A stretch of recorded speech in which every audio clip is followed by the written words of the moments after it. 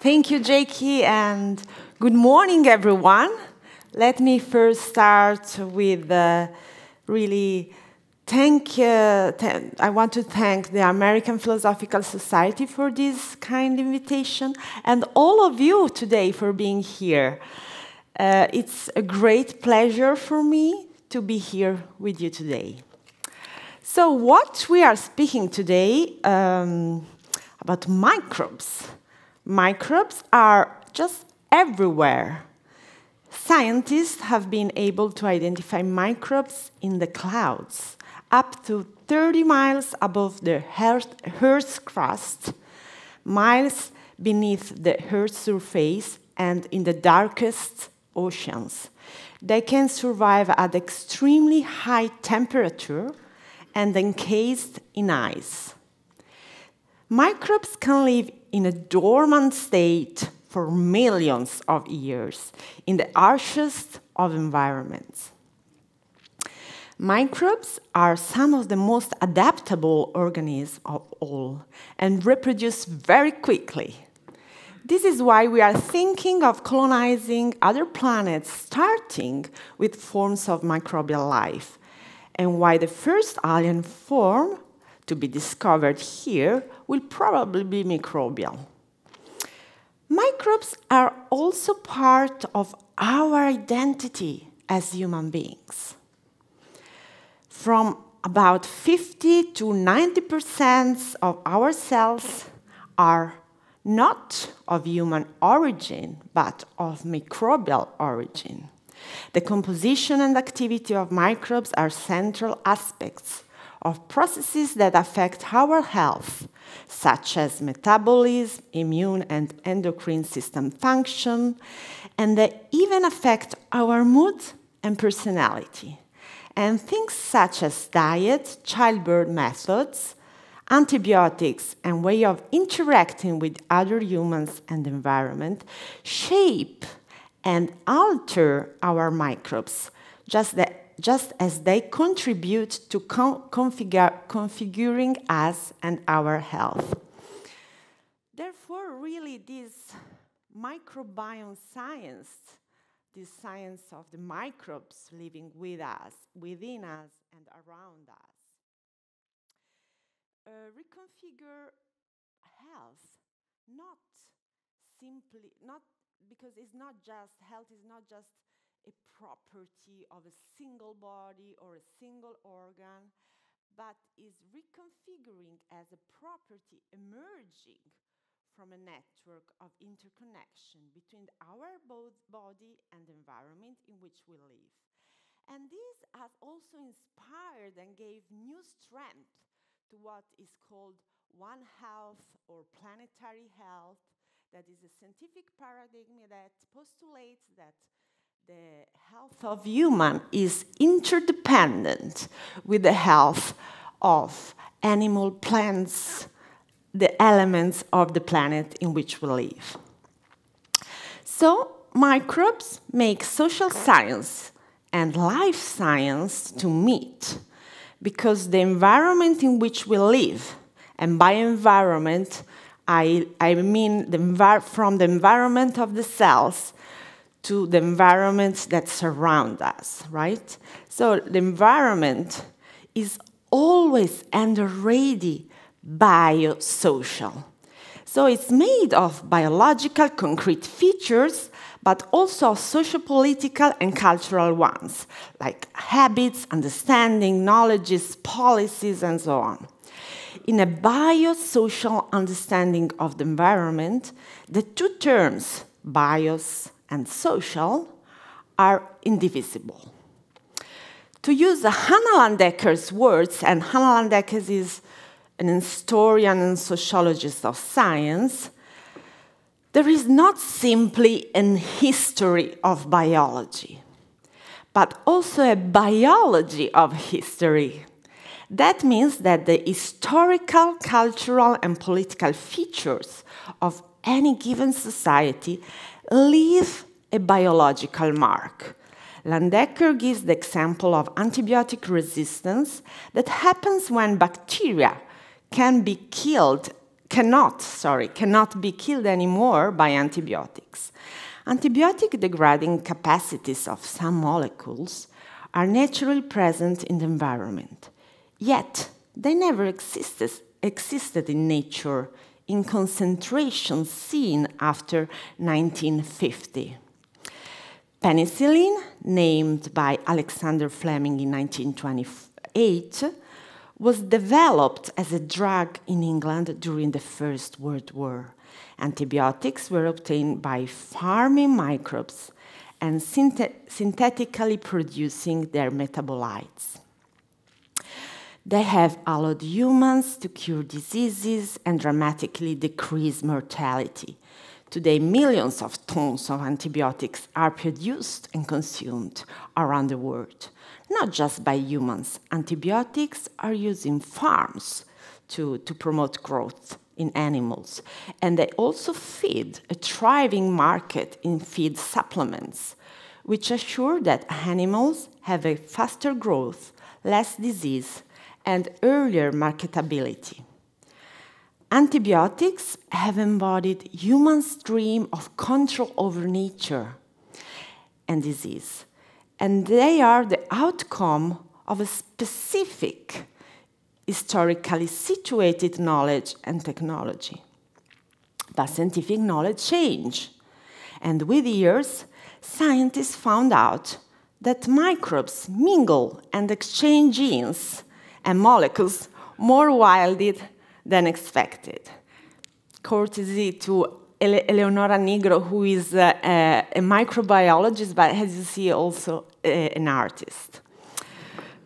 So today, the metabolism of microbes, humans and animals, are entangled at an unprecedented industrial and human induced scale.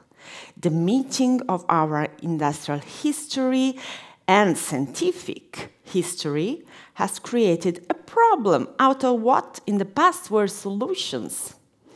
Antibiotic resistance indeed has ecological ramifications. Antibiotics persist in the environment, do not disappear after being ingested. The tons of antibiotics consumed by humans and animals are released into soil and wastewater, and as a, and as a consequence, microbes today have different features, capacities, and distribution than, than before industrialization and the discovery of penicillin. As Landecker says, history of antibiotics is not behind us, it is in us. This is just an example, but I find it useful to make clear that human social historical events, so in this case, the discovery of penicillin, its industrial production, global medicalization, a certain understanding of microbial transmission, coupled with aspirations of control over nature, capitalism, and industrial mode of food production. So all these social processes materialize as biological events, processes, and ecologies.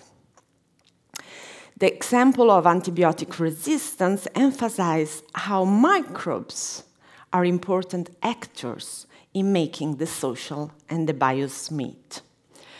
The biology of history is also linked to the history of biology. That is, how biology as a discipline changes and how this influences how people understand who we are as humans and how we relate with nature. The beauty of science is that it's not state, static, neither unique. There are different histories and approaches to be told and analyzed. And this is my work. This is my work as an anthropologist, an anthropologist of science and technology. So instead of going somewhere exotic, since 2014, I joined labs of scientists who study microbes. And I assure you that is exotic enough, right?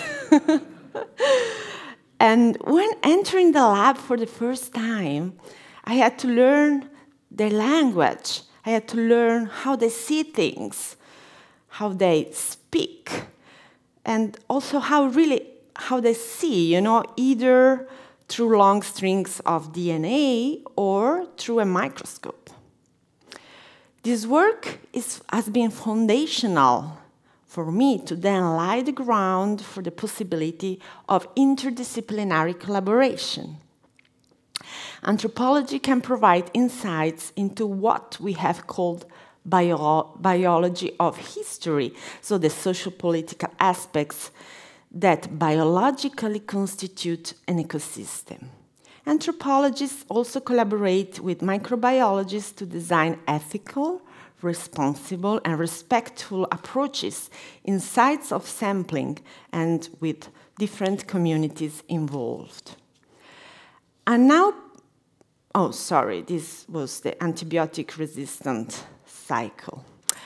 I now coordinate a project funded by the European Research Council and in a smaller part also by the Italian Ministry of Research, based at the University of Venice, Ca' Foscari, and also based at this center called uh, Center for Environmental Humanities and in the department where I stay, I uh, Department of Philosophy and Cultural Heritage. The project that started September 2021 will end August 2026, so five years. The team is composed by six postdocs and myself. The project uh, comprises seven case studies across five continents, including China, Africa, Europe, US, the Pacific, and Antarctica. And this that you see here is the team. Uh, they all anthropologists, and we also have a social theorist working with artists. So I now show you a, a very brief video that describe uh, the main topic and research question of the project has been developed for the broad uh, public.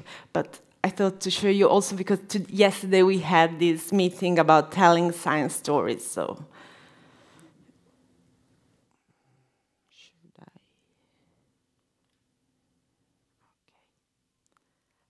audio.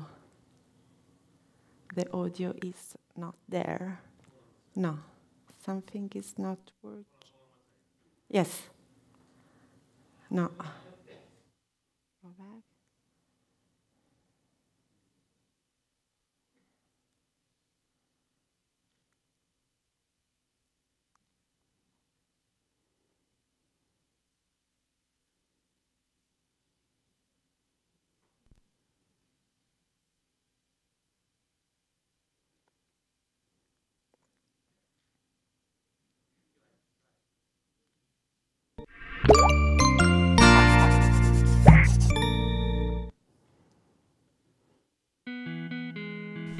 Microbes are tiny living things that are found within, on, and around us, and are too small to be seen by the naked eye. The most common types are bacteria, viruses, and fungi. The human body is home to millions of these microbes, but they also live in animals, plants, water, soil, and in the air. Microbes are everywhere. Microbes are the connectors between us and the environment in which we live. Health is a concept usually associated with humans, but how can we rethink human health as part of an interconnected environment? Health X Cross will explore the implications of approaching the planet as a body and the body as a planet. We are a team of anthropologists exploring laboratories where scientists analyse microbial data collected all around the world, derived from different samples crossing space, time, and species. This huge amount of data is then aggregated into a supercomputer in order to develop scenarios of health for both us humans and the environment. anthropologists and scientists will collaborate to understand what it means to be human and to live on an interdependent planet.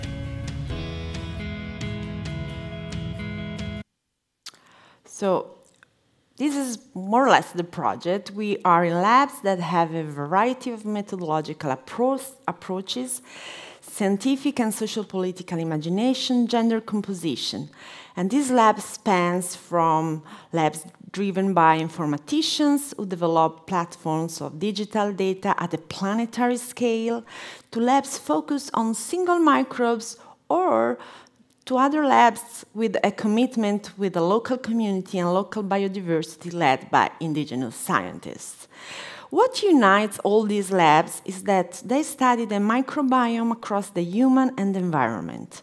This interface not only opens new ways to understand our relationship with nature and our essence as humans and our role in the universe, but also addresses future health solutions.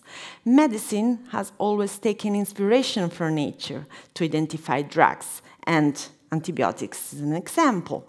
But with technology, the technology we have now, and Margaret will tell you more about that, the traffic between the human and the environment is done at the scale and depth that was not imaginable before.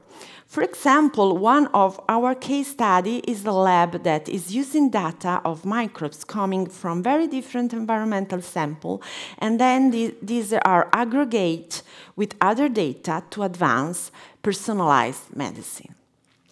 But I want to push mine and your sociological imagination even further. That health is a social issue is an old truth.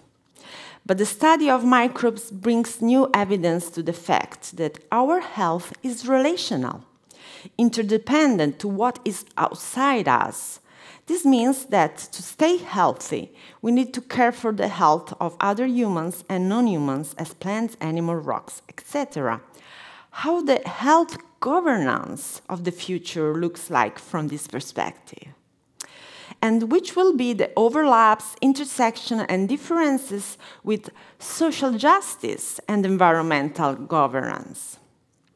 As an anthropologist, I'm very curious to explore how the microbe revolution is transforming the same concept of health, not only in popular media discourse, but really what can be the application of this science on our everyday life of this enlarged understanding of health as a more than human thing. There are three clusters that constitute the project's theoretical framework and our research questions.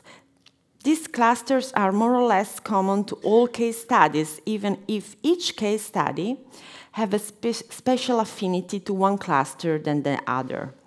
These are one is called, the first one is called diversity. So, how scientists remake notions of biological diversity that crosses conventional categorizations of space, time, species by connecting the human and the environment. So, these research classes address uh, the branch of metaphysics dealing with the nature of being, that is ontology. Uh, this is important because the thing we do every day depend also on how we think about who we are. The second cluster is called space-time of innovation. So many of the labs collaborate also with the so-called Global South to have data, and so we look at this kind of relationship.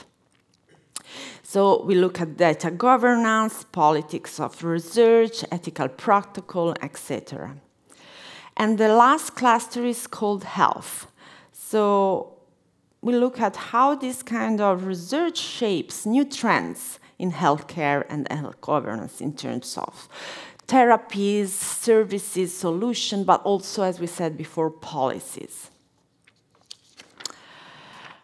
This is the project where a consideration of the history of biology, so how knowledge and technologies change and how they are linked to social political assumption, is coupled with the biology of history, so how this impacts on biological data, biological samples, and their analysis in biological terms, and in general to our health.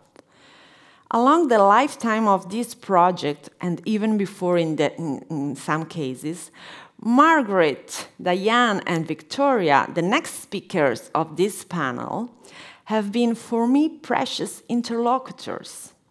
Three wonderful women and ex exceptional scientists who will be able to give you a taste of how exciting is the study of microbes. Surely you will be able to identify their different approaches across their commonalities. All of them have original intellectual paths, making them able to identify novel analytical syntheses beyond the boundaries of the state of art of their discipline. Margaret, a pioneer in the study of symbiosis, is now putting her energies in forging what the study of biology will look like in the future through microbes and across scales and across disciplines. Victoria has developed cutting edge techniques to study microbial communities at the bottom of the ocean, and she explores how these relate to climate change.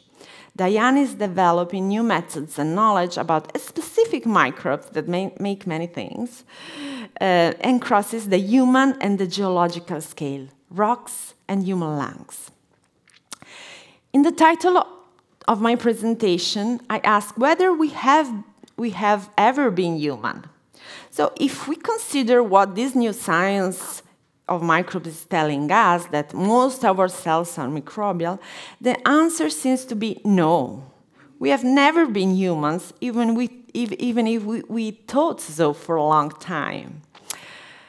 At the same time, however, microbiome science variety of approaches, their heterogeneous agendas, and the unbreakable entanglement between the social and the bios make very clear that we still are very human despite being composed from many microbes.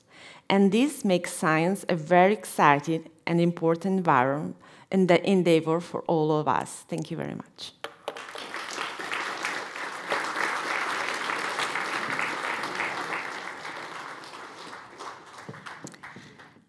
Wait, wait, wait you might, there might be some questions. Oh, good.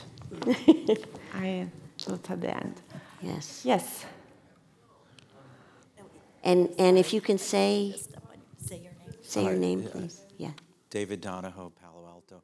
Um, now? Yes. Thanks. Uh, you, you mentioned uh, the global point of view, and I think uh, one, one comment that uh, my wife and I discussed is because of industrialization of diets, there's no bioequivalence between the grains and oils that people have when they live in different continents. And that must have an impact on the microbiome, actually, a rather large one. Perhaps I'm wrong, but I'd, I'd love to hear uh, if you've had thoughts about that or will investigate it. Sorry the quality, the nutrient quality of the same uh, food in different countries, or it, it, appears to be the same, but because of industrialization of the diet, there's no bioequivalence. Yes. Yes, that, that that's true, and this adds a further layer to the complexity of studying the microbiome because the microbiome changes hour by hour. It changes is much influenced by our lifestyle, from the biological properties of where we are, and even those studies that want to compare same food in different places then have this other layer of complexity. That is true, and and that's why. I, I think that it's important to also have this other perspective, that is more sociological perspective on how our environment is changing and how we can integrate, consider these changes in our uh, research design. Yes, thank you.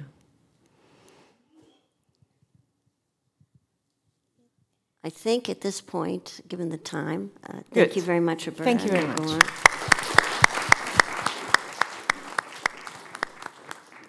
Our next speaker is Dr. Margaret McFall-Ngai.